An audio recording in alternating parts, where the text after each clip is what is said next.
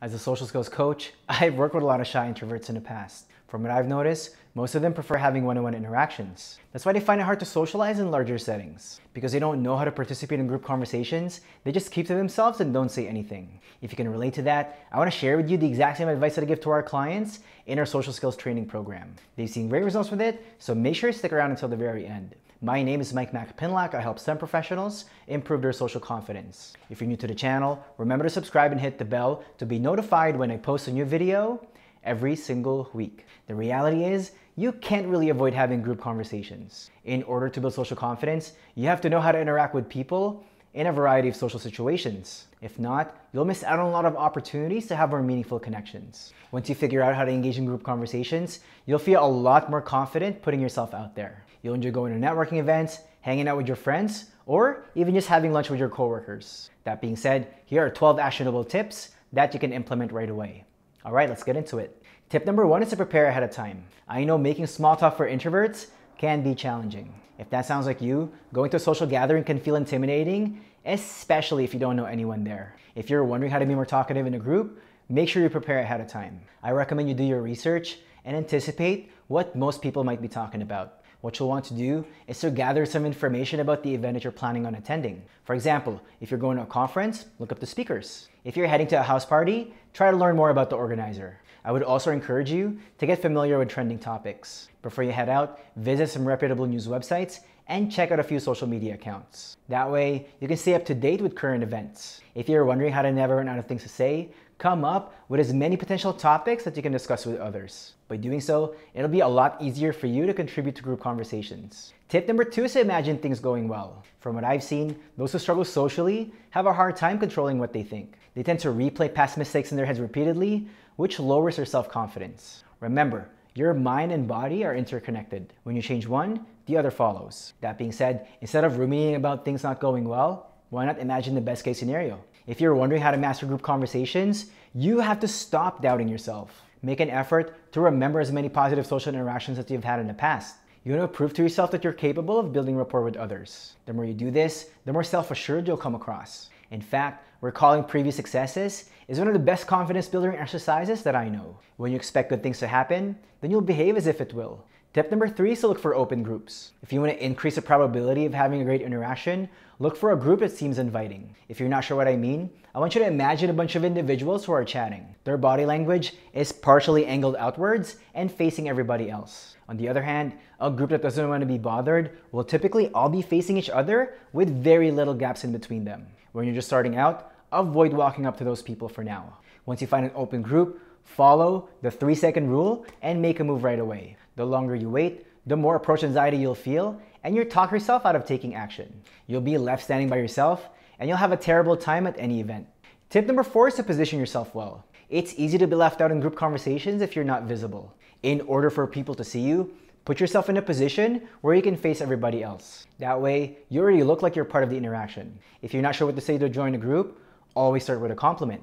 Tell them that you find them interesting and ask if it's okay to hang out with them. Remember to smile and make eye contact to acknowledge everyone. Shake their hands to politely introduce yourself. By doing so, you'll give off a great first impression and come across as someone friendly. Tip number five is to be observant. Now that you're in the group, how do you participate? Before you say anything, make sure you pay attention to what everybody else is talking about. Be observant at first, especially when you're around people that you don't know. Get familiar with the group that you just joined so you can identify what topics are being discussed. The more you do, the easier it'll be for you to come up with something that interests them. For now, make sure you actively listen by making small remarks to acknowledge what the other person is saying. That way, you'll look like you're engaged because you're still participating. Tip number six is to not hesitate so much. A mistake that I see a lot of shy introverts commit in group conversations is that they wait too long to say something. Even though they know they have something valuable to contribute, they never speak up because they're looking for the perfect opening. As a result, they never give themselves a chance to share their thoughts. And then they're mad at themselves for being so quiet once again. If this sounds like you, you have to stop hesitating so much. If you think about it, group conversations tend to be lively and chaotic for the most part anyway. That being said, you have to get comfortable politely interrupting others every now and then. What you'll want to do is to use your body language to gesture that you want to say something, and then speak up as soon as the opportunity presents itself. In the event that you do offend someone for cutting in, make sure you offer them a sincere apology right away. Just don't make a big deal out of it and move on. On the other hand, if you do get interrupted while you're saying something, be assertive, but still be respectful. Let them know that you like to finish your story if that's okay with them. Doing this definitely requires some practice, so give yourself a break when you make a mistake. Tip number seven is to share something relevant. Most interactions typically stall when someone says something that the other person can't relate to.